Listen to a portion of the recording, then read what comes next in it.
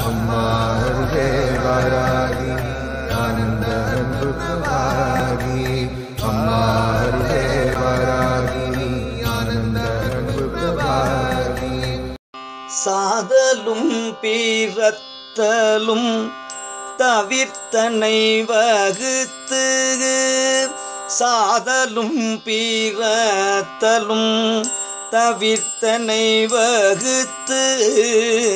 தன்னருள் தந்தயம் தலைவனை மலையின்